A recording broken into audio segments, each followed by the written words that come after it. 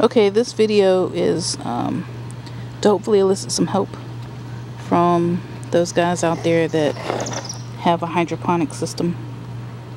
I want to show you what I'm working with real quick. Um, there's the tote and as you can see the water comes um,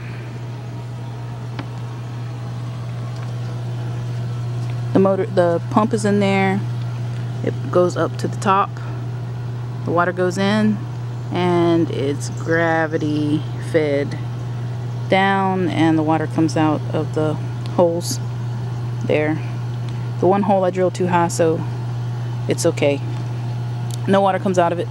Um, as you can see the water level I have um, a sponge inside to keep the water level fairly high. As you can see it's it's green. Um, there's algae growing in there. So here are my two problems. There's algae um, growing inside of the system. Uh, everything's growing well. That's a tomato. These the bottom row is tomatoes, and you can see they're different types of tomatoes. My battery's about to die. So here my here's my problem. My tomatoes have spots, um, and I use some some fungicide, pesticide stuff and I still have spots. Um, and now I see that the spots are spreading to the strawberries and even to the pepper plants. And I'm not sure this is a perfect example. I don't know if you can see it. So obviously there's something in the water, but is there anything that I can do to salvage the system? That's my question. Um, obviously the whole system shares the same water. So if there is something in the water is there anything I can do to salvage the system? Um, I've used uh, uh, fertilizer in the water.